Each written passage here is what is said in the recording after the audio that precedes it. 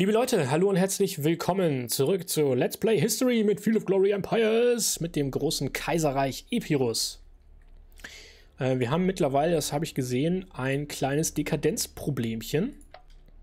Das müssen wir mal in Angriff nehmen. Es liegt sicherlich unter anderem daran, dass wir diese... Oh ja, es liegt mit großer Sicherheit daran, dass wir diese... Uha. Diese Regionen hier erobert haben, die allesamt fast 30 Krass. Zwischen 20 und 30 Dekadenzpunkte angesammelt haben. Oh Mann. Karthago, was hast du getan? Und Rom, was hast du getan? Die haben es ja in der Zwischenzeit gehalten. Also bitte, bitte Rebellion. Ich brauche eine Rebellion hier. Ich will die Dinger loswerden. Ähm ich würde dann die Armee tatsächlich auch schon mal zurückziehen. Die kann sich ja hier eh nicht verstärken, weil die Loyalität zu gering ist. Und dann können wir, wenn die nach Sardinien kommt, äh, Sizilien, Sardinien ist ja da, ist mir gerade ins Auge gefallen, deswegen habe ich das scheinbar unterbewusst irgendwie vorgelesen. Ähm, wenn wir auf Sizilien sind, können wir unsere Armee restrukturieren und dann vielleicht doch nochmal über eine wagemutige Landung in Rom nachdenken. Ich beordere sie erstmal, weiß ich nicht. Ja, für eine Runde dürfte das ja okay sein, wenn beide da sind. Oder ist da überhaupt gar keine mehr? Ich rede die ganze Zeit von irgendeiner Armee. Die ist da gar nicht mehr. Das war die Armee. Aha. Aha. Oh, guck mal. Pontos hat sich ja auch gemausert hier. Kriegswagen haben die. Was können die? 13 Kampfkraft. 5 Angriff, 3 Verteidigung. Flankierungsmodifikator 1, Fernkampf 6. Angriffsnachteil 2 im bewaldet sumpfig-bergig ergibt Sinn. Verteidigungsnachteil auch. Oh, und ein französischer Text. Les chariots de guerre sont proches de la cavalerie lourde dans leurs effets, mais un peu plus orientés offensivement. Leur grande différence vient de leur vitesse de recrutement. Ils ne seront pas disponibles en grand nombre, chacun coûtant un peu plus que le précédent. Habt ihr verstanden? Gut. Ähm, also, ich dachte, hier wäre noch eine Armee. Das war aber natürlich die große Flotte, die sich hier erholt hatte. Und die wir jetzt dann vielleicht. Achso, die hatte schon den Befehl, hier anzugreifen. Ja. Ich wollte sie schon direkt da hochschicken. Aber dann lassen wir erstmal den Verfolgen-Befehl am besten und schicken die Armee zurück. Und hier kommt die Flotte rüber. Genau, die kann dann gegebenenfalls, falls die Römer doch hier unten rumfahren sollten, die Armee da schützen, wobei das wird die auch gar nicht in einer Runde schaffen, oder ne? 1, 1, 1. Doch, sie wird hier bleiben. Okay, und sich da einschiffen. Alles klar. Gut, dann haben wir alles soweit erledigt. Können wir in die nächste Runde gehen. Bevor ich hier noch weiter rumquatsche.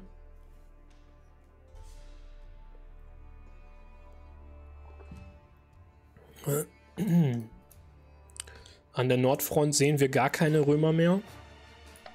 Die sind wahrscheinlich gerade mit Claudius beschäftigt, mit, ihren, mit ihrem Bürgerkrieg, mit den Usurpatoren Claudius und wer war unten am Stiefel? Fabius hieß er, glaube ich.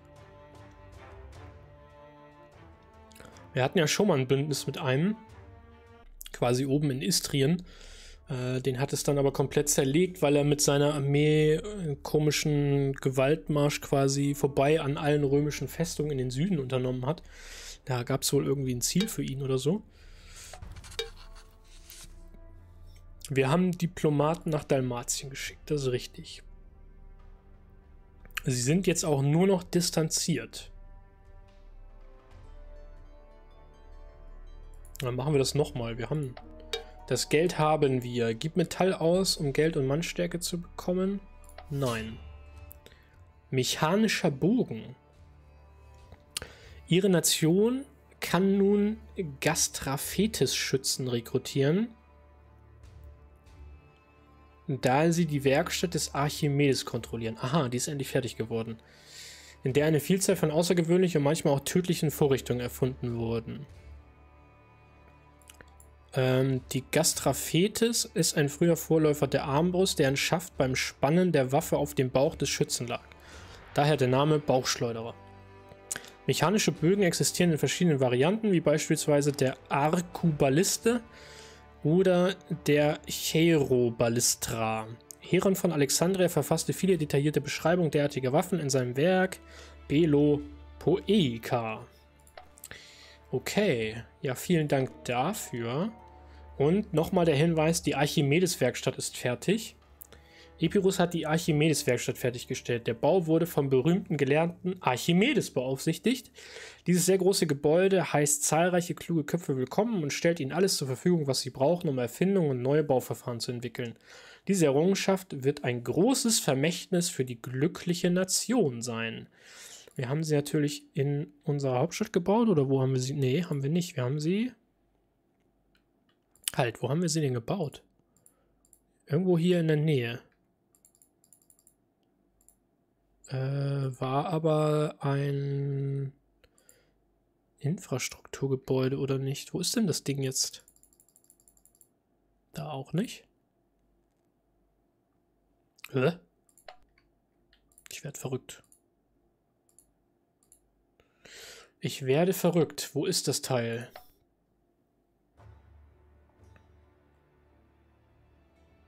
Naja, wir können ja uns die Regionen angucken.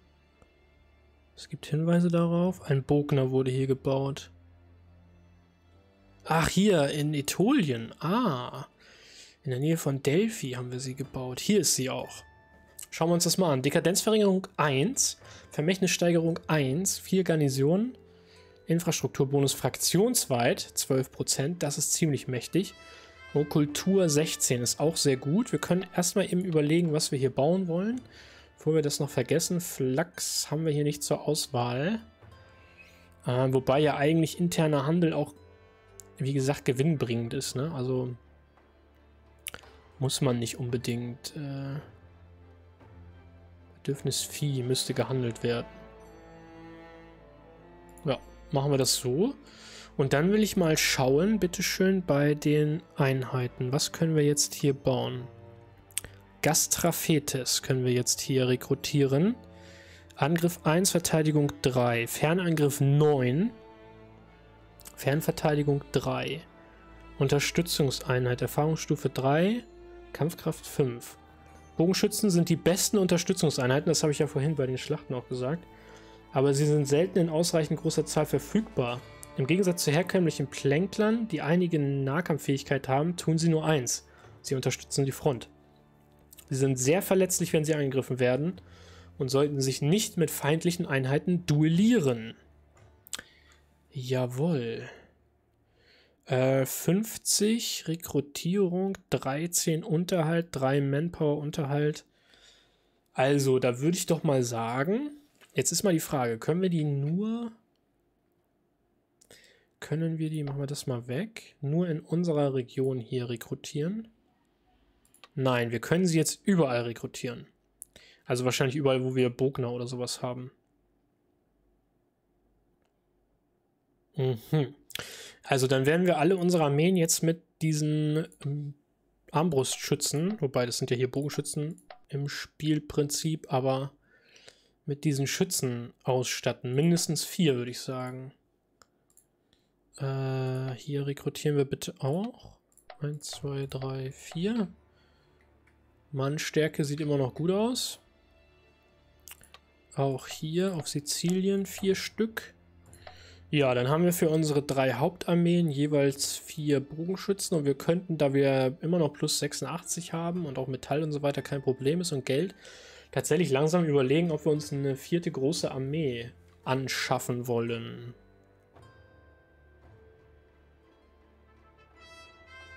Oh, wir haben die Provinz ge gebildet. Hm.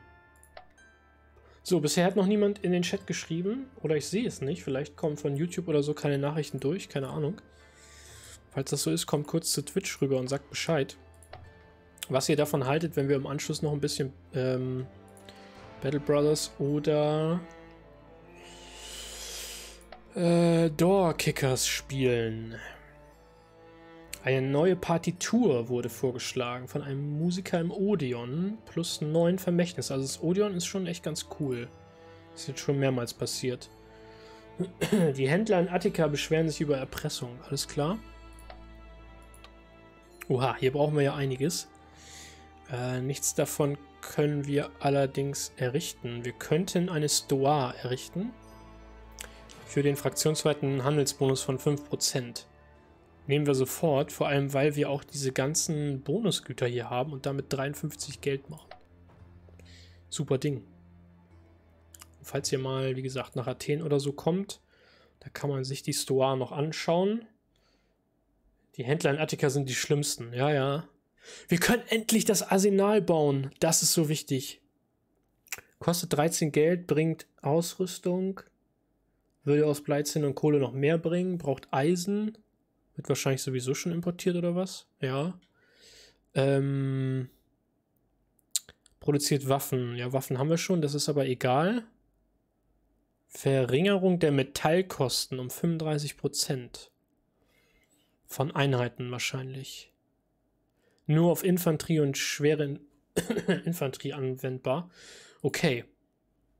Das Ding ist so wichtig, weil nur wenn wir ein Arsenal oder einen Armeeversorger haben, können wir unsere schwere Infanterie, also die Hopliten und insbesondere unsere besten Einheiten, die Sarissa-Phalanx, beziehungsweise hier im Spiel heißt es ja einfach Phalanx-Einheiten, endlich, endlich reformieren. Und dann können sie vielleicht auch im direkten Duell mit den reformierten Legionen besser standhalten. Propylen bringen Vermächtnis. Propylen sind diese Säulen, diese überdachten Säulengänge, die quasi die Eingänge zu den ja, zu größeren Anlagen sind, zu Tempelanlagen oder aus Athen, wo wir gerade bei Athen sind, kennen wir das ja, der quasi der Aufgang, dieser Stufenaufgang hoch auf die Akropolis von Athen. Das sind Propylen. Prozessionstor, da steht es ja auch im, in der Beschreibung. 24 Kultur und Vermächtnis einen halben Punkt pro Runde. Aber klingt gut. Weiß zwar nicht, warum das hier hinten in so einer Region unbedingt gebaut wird, aber sollten wir vielleicht eher im Kernland mal bauen. Regionale Straßen, das ist auch schön. Können wir mit den Mauern vielleicht mal weitermachen? Nein. Wir können allerdings Werkzeuge herstellen. Eisen wird nämlich schon importiert. Gladiatorenschule bringt halt Dekadenz, ne? Nee. Loyalitätsbonus ist cool von 16 und verringertes Aufstandsrisiko auch. Aber machen wir mal mit den Werkzeugen weiter. Die kann man auch gut handeln, glaube ich. Schule, sehr, sehr gut. Thesaurus bringt Konvertierung. Oh, das könnte hier... Oh ja, ja. Das ist hier wichtig. Konvertierung wäre hier wichtig.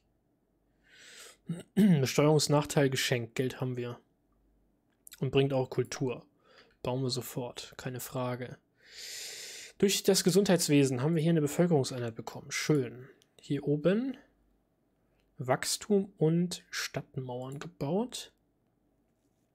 Und sonst gibt es hier auch nicht viel, muss man mal sagen. Vielleicht machen wir mit einem Theater weiter, um die Loyalität zu erhöhen. Dauert allerdings zwölf Runden. Hm. Machen wir das mal. Was ist denn, wenn wir hier die Leute rüber schaffen? Acht Runden, Wachstum in sieben. Ja, Wachstum ist jetzt ja erstmal nicht so wichtig. Minus 2 plus 1. Ja, machen wir es doch so. Aber da bin ich halt irgendwie immer noch dabei, das alles immer manuell anzupassen. Das finde ich irgendwie einfach, ja, weiß ich nicht, besser. Rezeptorenhaus ist, wie gesagt, ein Muss. 20 Dekadenz sind hier drin. Aber Stadtmauern, drei Runden, machen wir sofort hier in unserer Grenzstadt. Erscheint mir das doch relativ wichtig zu sein, dass wir da endlich mal bessere Mauern bekommen. Hatte ich hier schon in Byzanz geguckt eigentlich? Da wird doch auch irgendwas angezeigt. Den Radmacher haben wir dort fertiggestellt. Holz wird hier benötigt. Glücksspielring, Loyalität ist noch im Rahmen, brauchen wir also nicht. Nochmal Waffenherstellung könnte man machen. Hm. Köhler brauchen wir eigentlich auch nicht. Vielleicht machen wir einfach mal Sanitäranlagen hier. Wie sieht es denn sonst so aus? Habe ich noch irgendwas übersehen? ja, wir können hier mal irgendwas in Auftrag geben. Ich weiß nicht. Äh, Infrastruktur. Hoch. Ähm. Uha. Die ist ja nicht so gut ausgebaut. Auch Infrastruktur. Und hier geht's gar nicht. Ähm, wie sieht es denn da mit der Loyalität jetzt aus? Aber warum, wartet mal, Loyalität 0, aber warum Aufstandsrisiko nur 7? Warum so wenig Aufstandsrisiko? Hier immerhin 6. Hier steigt tatsächlich die Loyalität langsam. Eigentlich, oh Mann. Hätte ich das mal nicht erobert, wa? Hätte ich das mal nicht gemacht. Die römische Flotte ist uns durch die Lappen gegangen, so wie es aussieht. Hm. Warum blinkt das?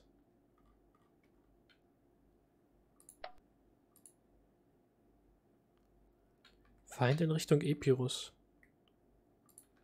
Warum blinkt denn die Region? Wir können irgendwie mit der Flotte da reinfahren.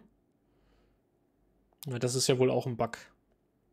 Das dürfte ja wohl nur bei den eigenen Küstenregionen mit Häfen gehen. Kann, ich kann ja wohl jetzt nicht mit der Flotte da reinfahren. Kann ich ja bei den anderen hier auch nicht. Nee, nee, nee. Das lassen wir mal schön. So, die Armee setzt hier noch über. Genau, gut. Die Flotte könnte sich noch eine Runde erholen. Dann schicken wir erstmal die eine los. Haben wir hier in, im Kreis. Kommt dann hier zurück. Genau, dann können wir nächste Runde die große Flotte losschicken. Haben wir noch was? Mösia Superior ist in Unruhe. Ja, verständlich. Die werden auch ständig überfallen. Äh, ein Feigenladen. Bräuchte Feigen könnte aus Alutus importiert werden. Wo ist denn Alutus? Scheint was Makedonisches zu sein. Äh, hier. Alutus. Ja, Feigen. Interessant, okay. Eigentlich möchte ich den Makedoniern ja nicht unbedingt Geld hinterherwerfen. Produziert Stein. Ach, schwer zu sagen. Ach, das bringt auch noch Dekadenz. Nee, dann also bitte nicht. Bitte doch nicht solche Sachen. Sieht's hier aus? Asinum. Hä? Habe ich wohl letzte Runde schon übersehen. Äh, Skriptorium. Machen sie ja sofort. Wie gesagt, äh, unser Kultur-Dekadenzverhältnis sieht nicht gut aus. Wir haben dieses Mal sogar 200 von unserem möglichen Zuwachs hier an Inflation verloren. Und guckt euch das mal an. 1600 zu 2100 fast. Gar nicht gut gar nicht gut. So, wir haben alles erledigt, was die Regionen angeht. Dann löse ich wohl nochmal den Wechsel aus. Genau, die kommen die nächste Runde, die Bogenschützen. Sehr schön. Da freue ich mich schon drauf, dass wir die haben. Äh, die Römer hatten ja jetzt auch schon welche durch die Reformen scheinbar. Oder sie haben auch ein Gebäude, da bin ich mir nicht sicher. Ich habe das aber gesehen. Sie haben auch Bogenschützen. Oh, da sehen wir auch römische Armeen. Äh, Sarmatien greift die Illyrer an. Okay. Und die Illyrer haben eine Transportflotte verloren, damit eine Armee. Ja, schlechte Idee. Warum greift ihr nicht auf dem Landweg da oben an? Das könnte spannend sein hier. Karthago hat den Kampf aber gewonnen. Auch wenn es... Oh, hätte auch anders ausgehen können. Sie holen sich nach und nach ihre Regionen zurück. Ich bin mal sehr gespannt, wie es da eigentlich generell mit der Loyalität dann jetzt aussieht. Ja, auch da zu den Säulen des Herakles sind die durchgestoßen, also zur Straße von Gibraltar. Wir sind tatsächlich ein bisschen nach oben gerutscht in der Platzierung. Wie kann das denn sein? Da müssen ja wohl andere abgeschmiert sein. Hm. Aber viele hier mit fünf Fortschrittsmarken tatsächlich. Beeindruckend. Hm. Dalmatien, sie sind immer noch distanziert. Wollen sie eine Kooperation mittlerweile? Nein. Wollen wir ihnen nochmal Geld geben? Wartet mal, die, der tatsächliche Effekt hängt von der Macht der Nation ab und ob du ihr schon zuvor ein Geschenk gemacht hast. Was heißt das? Hat es mehr Effekt, wenn ich ihnen wieder ein Geschenk mache? Oder nimmt es mit jedem Geschenk ab? Sklavenmärkte wieder. Ich mal versuchen nochmal die Verteilung. Äh, wie lange läuft's? Ja, ich glaube, wir können die Gebäude noch durchgehen. Und dann sind wir mit der Folge dann auch durch. Rednertribüne für Loyalität. Hört sich schon mal gut an. Sklavenmarkt da in der Grenzregion auf jeden Fall nicht. Städte und Großstädte brennen. Schon wieder überfallen. Herrgott, ich komme gleich rüber und überfall euch mal. Stadtmauern abgeschlossen. Schule wäre hier möglich. Wie sieht es sonst mit der Produktion aus? Wachstum in 52 Runden. Wir haben aber sehr, sehr viele Gebäudeplätze frei. Infrastruktur ist auch okay. Handwerksviertel wäre noch die Option. 14 Dekadenz. Ja, komm. Wir verbessern das Präzeptorenhaus. Hier haben wir auch Stadtmauern gebaut. Nach und nach wird unsere Verteidigung immer besser. Töpferwerkstatt, Söldnerrekrutierung, Jägerhütte. Jägerhütte braucht Wildtiere, die gibt es aber nirgendwo hier in der Nähe. Laden für konservierte Lebensmittel ergibt auch keinen Sinn, weil wir die ganzen Bonusgüter nicht haben. Tongrube, Geld und Infrastruktur. Hm, machen wir mal die Töpferwerkstatt. Vielleicht können wir das dann irgendwie exportieren. Hier haben wir den Sklavenmarkt jetzt fertiggestellt, weil hier ja eine Region mit hoher Loyalität ist. Ich glaube, da können wir ruhig ein paar Sklaven hier vertragen. Das ist okay. Wir haben dafür ja andernorts die Sklavenmärkte abgerissen. Hier haben wir stabile Mauern. Wir könnten sogar sofort mit großen Mauern weitermachen. In Epidamnia. Oder wir errichten hier eine Ölmühle. Produziert Olivenöl und ich weiß, das brauchen wir an einigen Orten hier. Von daher, wo kommen denn die Pelze eigentlich her? Vom Meisterjäger, okay. Ähm, machen wir das mal, in der Hoffnung auch, dass danach dann vielleicht hier so ein Gestüt oder so freigeschaltet wird. Ja, hier bauen sie an dem Arsenal und hier haben wir den Sklavenmarkt abgerissen und die gepflasterten Straßen gebaut. Sehr gut, das ist wichtig für die Handelsreichweite.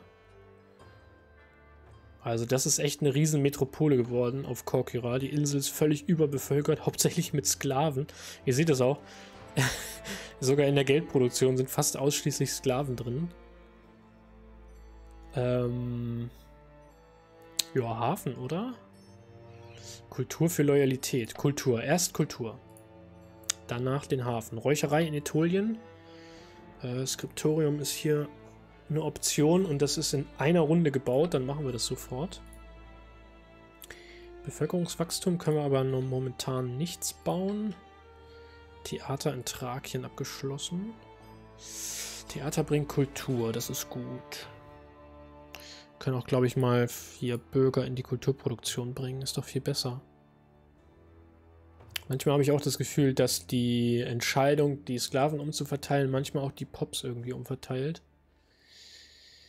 Ähm, Eisen wird hier importiert, naja. Ne? Eine Kaserne oder eine Taverne. Taverne machen wir mal. Bringt Kultur und Loyalität. Hier können wir nicht bauen. Was ist hier? Sanitäranlagen. Ja, könnten wir direkt nochmal klares Wasser hinterhergeben. Wachstum in 5.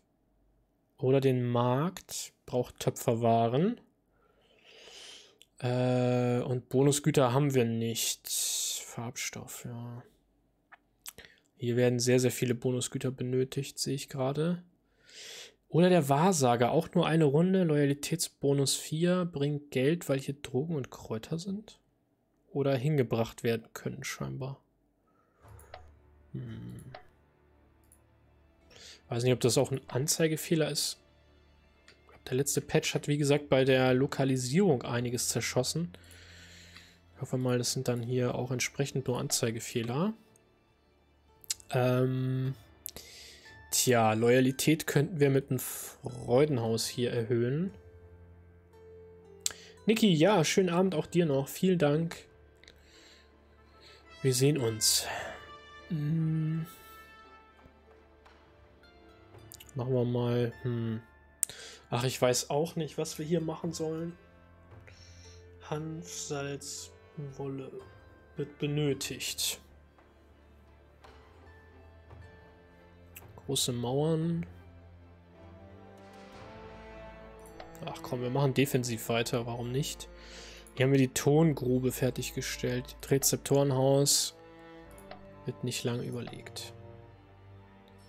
Das ist halt leider momentan so, ne? Also wenn man jetzt hier diesen die Sache mit der Dekadenz irgendwie in den Griff bekommen will, dann muss man halt ab einem bestimmten Zeitpunkt voll auf Bildungsgebäude, Regierungsgebäude, Kulturgebäude gehen. Das, das hilft nichts. Flavius hat unser Angebot abgelehnt. Oh, er ist auch wieder erobert worden. Dalmatien hat es geplündert, das wussten wir. General Atale ist eines natürlichen Todes gestorben. Und wir haben 180 Geld an Inflation verloren. Ja, wir haben auch keine römische Flotte hier oben getroffen. Interessant, interessant.